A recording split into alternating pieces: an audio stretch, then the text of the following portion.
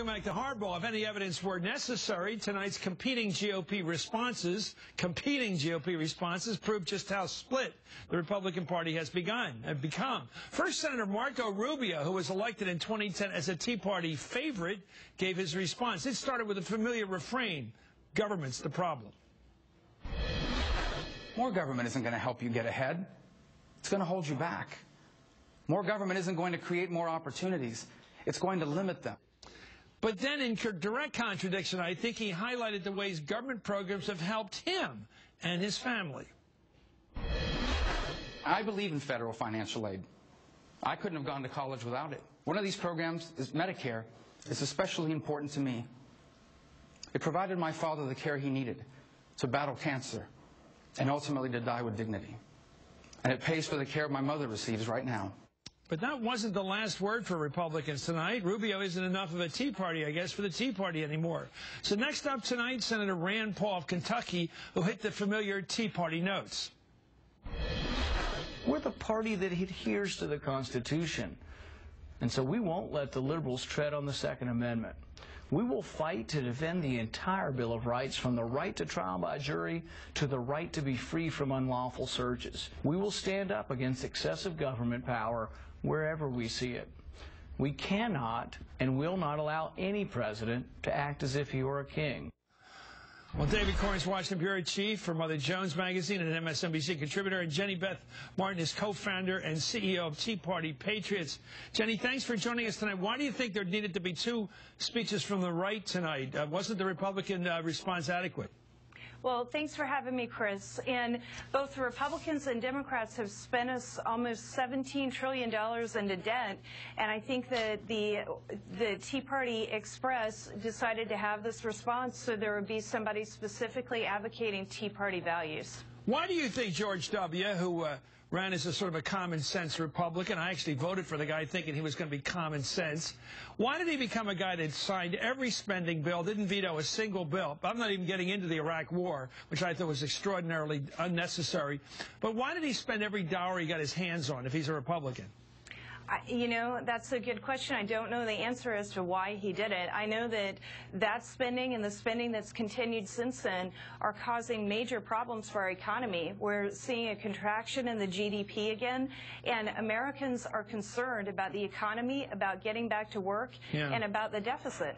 And who's paying for the prescription drugs bill? I've always wondered who was going to pay for that. I always thought that was just put on the books, right? Well, I think that we're all paying for the prescription hmm. drug bill right now. And frankly, it's a debt that we're racking up and we're sending that debt on to future generations. We're, we're kicking the can down the road instead of taking responsibility for what we've, we've promised ourselves. Yeah, you should talk to my daughter about that. It's one of her big concerns. Let's go to David here. From the progressive side of things, when you look at the speeches tonight, the president gave, I thought, a pretty good speech. It, if anything, it had too many things that it was hard for me to, until the very end to know where his passion lay. I clearly clearly on guns, clearly on voting rights. Yeah, but there was so much stuff in there in terms of infrastructure and immigration, and I, I, just didn't know. I didn't feel the uh, the pulse really. Well, I thought overall it was a very powerful, powerful progressive agenda yeah. that he was laying out for his second term. He wasn't trying to cut deals with the Republicans or even reach out and forge compromises that they have long ago said they're not interested in. He was trying to lead, and he was saying, listen, there's something more, uh, there are priorities here other than just the debt. We got to educate our I kids. I agree with that. But look, look, a couple points. He didn't, he didn't do any, on guns, he said, just give me a vote. On infrastructure, there was no money behind it. You could even vote no. But he, you know, he talked about, you know, hey, hey, Chris, you've been talking about bridges for the last two years now. Yeah, but where's the money? About, seventy thousand. Show me the money, bridges. Cuba Gooding. Well, okay, where's well, the listen, money? You can't, listen, you can't have you know Jenny on here and just talk about debt, debt, debt, and but say, okay, we can't. She's allowed to talk about that. I want to know what we're doing in investments. Actually, you lost the last election on this point. The American people are not debt fixated like Rand Paul and others. They want to see. They want to see investments Polling in innovation, just from January shows those are the top issues in America right now. Johnny, go ahead. Your thought. The polling from the Pew Foundation from January shows that the economy, the debt, and the deficit are the top issues for Americans right now. The Americans economy. are concerned about it. Yes, yeah, they're the concerned economy. about the economy and jobs, not just about the debt. They're not concerned. The, you know, you know, about, they, they, they, don't- they don't favor the Rand Paul type of tax on Medicare or the Paul Ryan type of tax on Medicare. They favor keeping Pell Grants going. The- One of the most ludicrous things that happened tonight was Rubio said that he went to school on federal finance uh, uh, loans, and then he said, "What should we do for the kids today? Give them more information about the." About, about what might happen with debt All to them if they take out loans. That all doesn't help kids. It was absolutely absurd. Okay, let Jenny talk. All right, all that we are saying in Tea Party Patriots is asking government to cut one penny out of every dollar it spends. If they would actually do that and make real spending cuts, we could be at a balanced budget in six years. It's not, it's not drastic. It's not going to harm any of us to do that. And we're not talking about that much money. It wouldn't take long to get our budget balanced and we could start paying down the debt. Okay, well, midway through the Republican response, saying Marco Rubio made an unexpected move. It has nothing to do with ideas, only showmanship, and I think it's going to hurt him. Let's watch. In the short time that I've been here in Washington, nothing has frustrated me more than false choices like the one the president laid out tonight.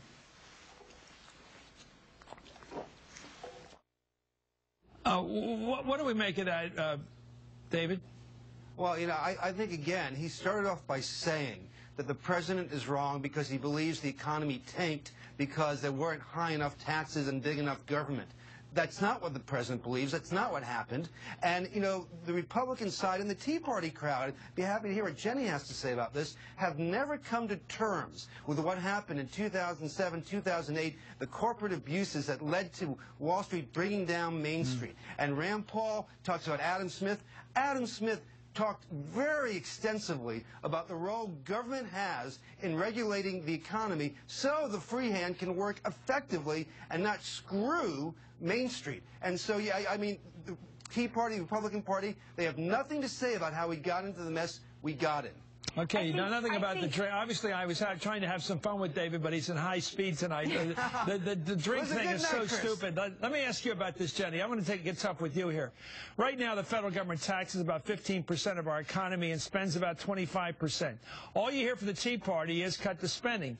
How are you going to bring together that spending and that taxation level inequality? Bring it into balance around 20 unless you raise taxes. We just saw taxes No, no, it's only 15% of the GDP is being taxed. We do not tax anywhere near the cost of even the government you would support.